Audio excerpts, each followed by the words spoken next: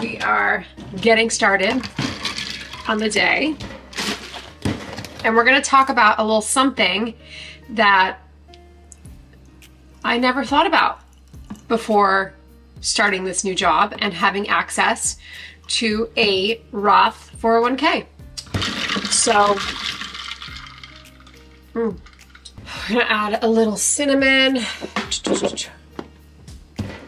And for the first time in my career, is this cinnamon? Yeah.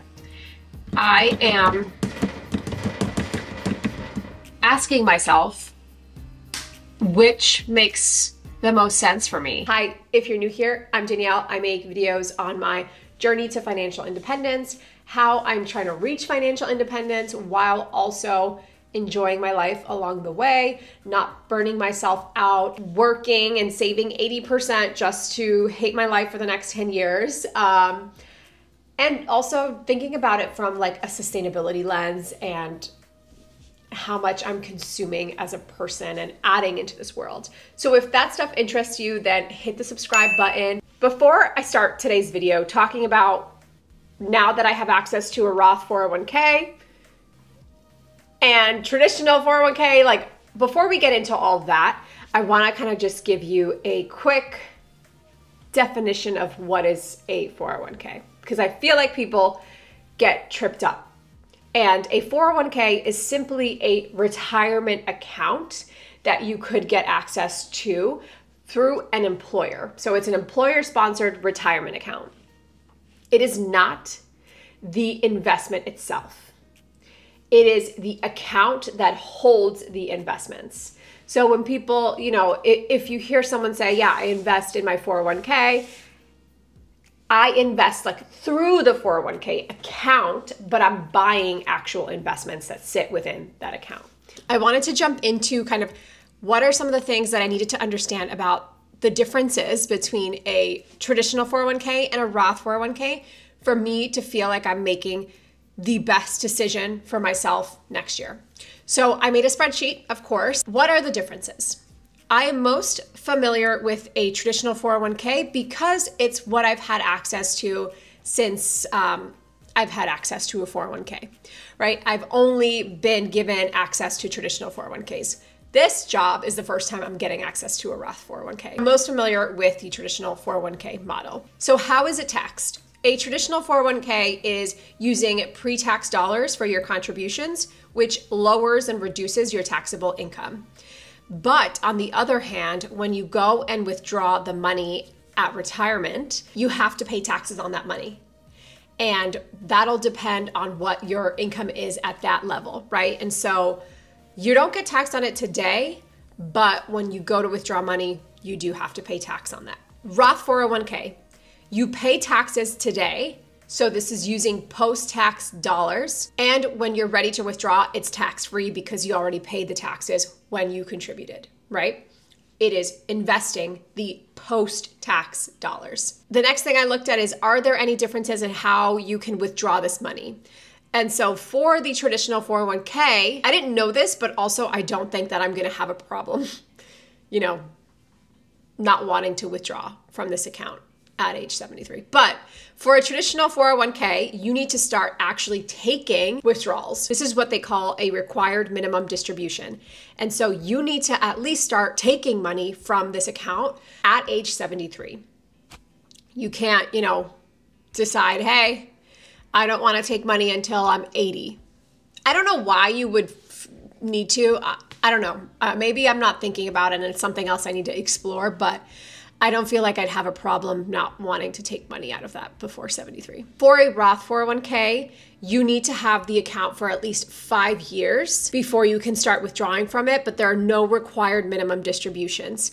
If you're starting early, like I am at age, I'd be 31 when I start contributing to this Roth 401k, then I will have no problem meeting that five year requirement, right? Because I'm not going to start withdrawing money at 35 or 36.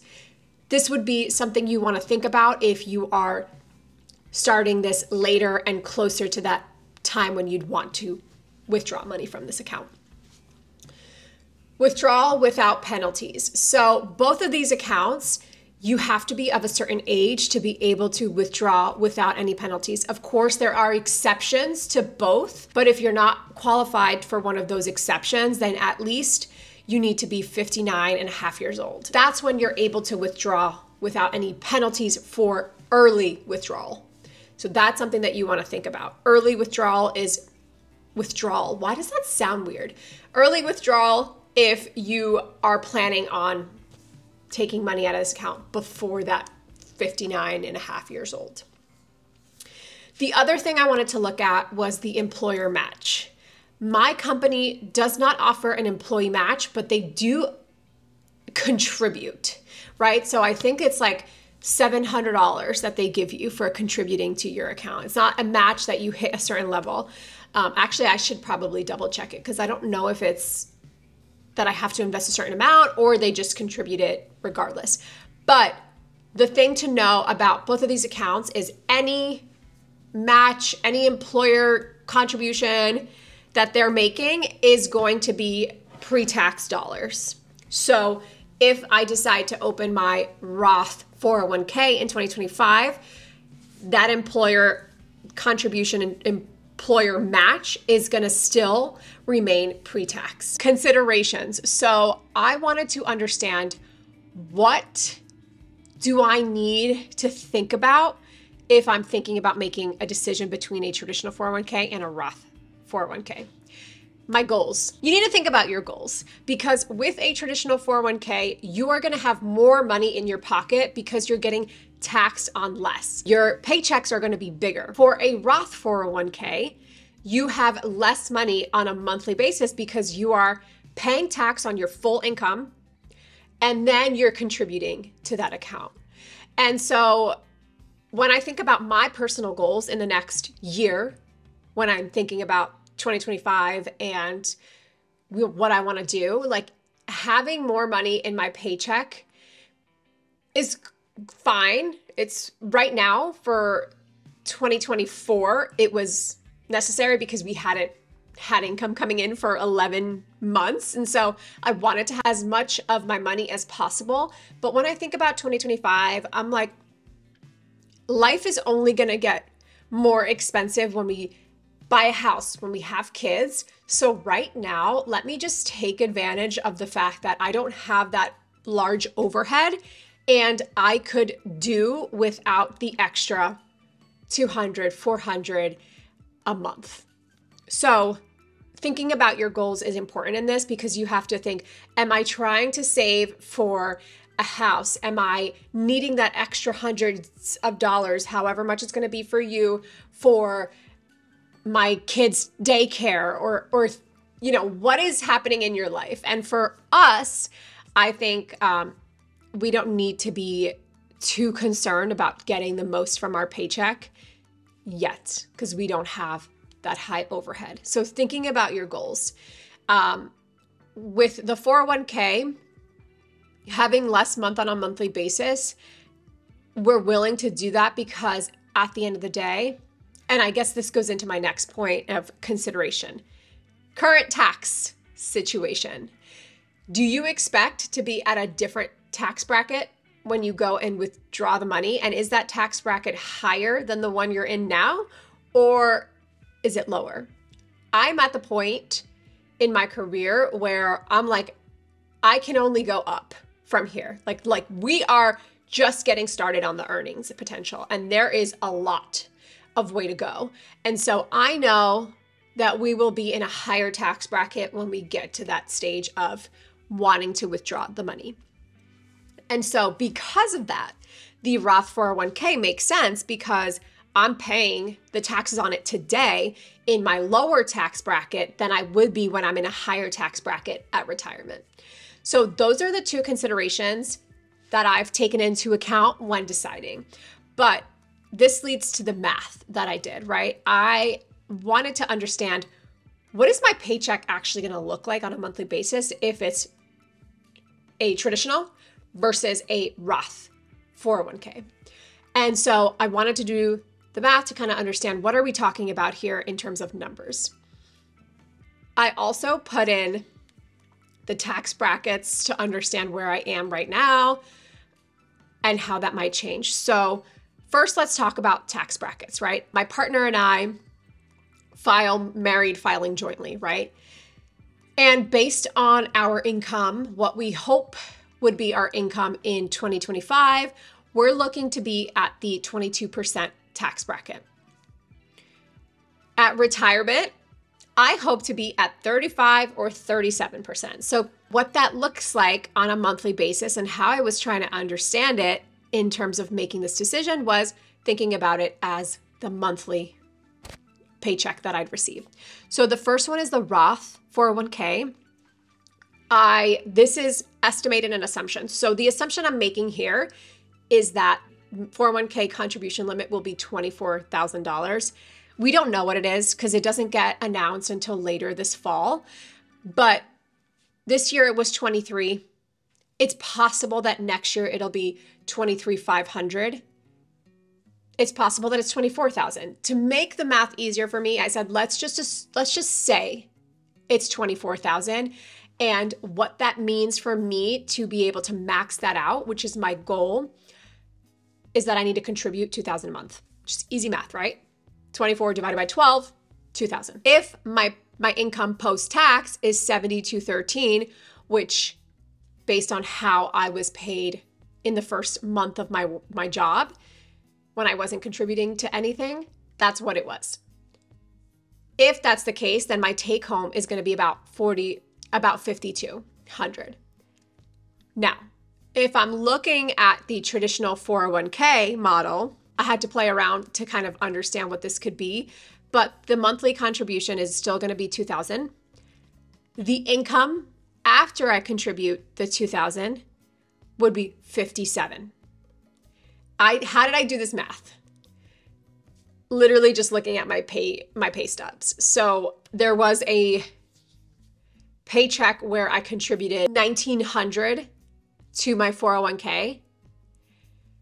And so in order to kind of come up with this number, I said, okay, I contributed 1900 for this paycheck and this is what I got. Let's subtract 900 from that because I'd be contributing 1000 per paycheck, not 1900. And let's multiply that by 2 for two paychecks. So that's how I came up with this number. It's not an exact, which is why it's an estimated, but we can see that I actually like it's been said, I take home more with a traditional 401k than I would with investing in a Roth 401k. And let me update that so it's clear that we're talking about a Roth 401k. So there's a $500 give or take difference there. So when I think about that $500 difference, I'm thinking about it in like for the goals that we have the money goals that we have. The $500 is not nothing. It's definitely something that could help us reach some goals faster.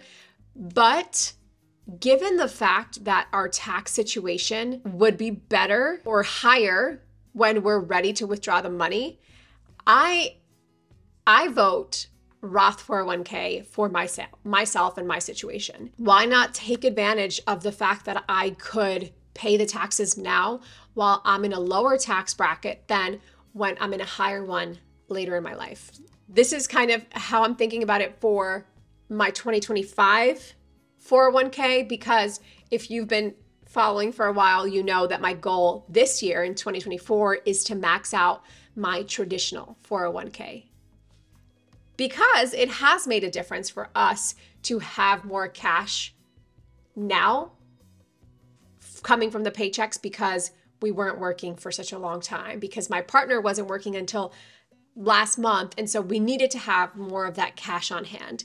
But in 2025, that won't really be the case. And so it gives us the opportunity to have and think about which one makes sense for us and our goals. All of that to say is this is all a personal approach. No one on the internet will know your specific situation, run the numbers, understand what your tax situation is, understand what your goals are.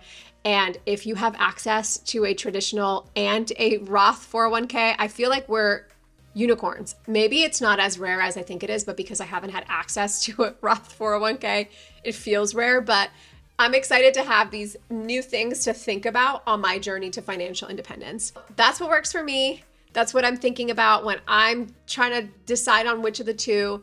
Hopefully, this was helpful in just getting you to think about all the different considerations you, you should take into account. And if you like this video, please give it a thumbs up, share it with somebody, and subscribe if you haven't already. I will see you all soon. I have a vlog coming out, so stay tuned for that. And have a good rest of your week.